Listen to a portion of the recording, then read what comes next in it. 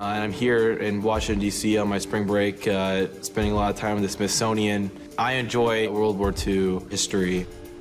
I'm sending Nathan and his dad back into the vaults to see some not so typical wartime artifacts. Cedric Yeh is a curator in the Division of Armed Forces History. What we're going to be looking at today is watercolors by Akio Ujihara. Ujihara was a 44 year old engineer from Los Angeles. He was also one of many Americans detained during World War II, simply because he was of Japanese descent. The chapter of history these watercolors depict is rarely discussed. This is just his personal way of remembering what life was like in the camps. This one is from Manzanar. And these two are from Topaz.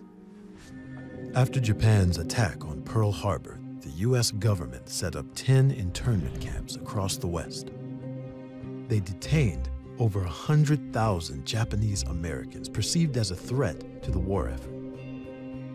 Half of those detained were children.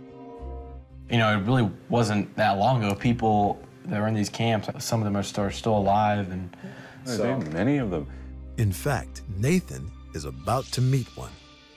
Betty Taira was only eight when her family was sent into the Heart Mountain internment camp in Wyoming.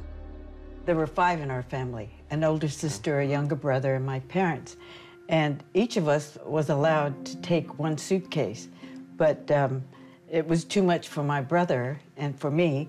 So, from a family of five, we only had three suitcases. Wow.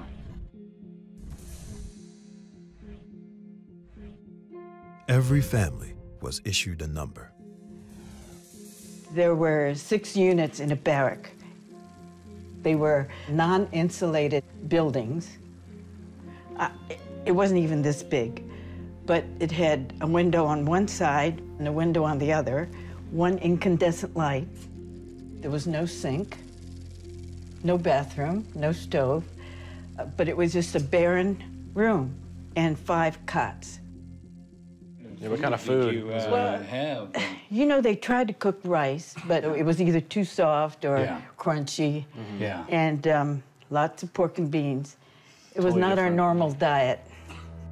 Betty's family spent nearly a year in the camps. I'm so curious, uh, what happened to you? We moved to Washington, D.C. I went to junior high school. High school, I graduated mm. from the University of Maryland.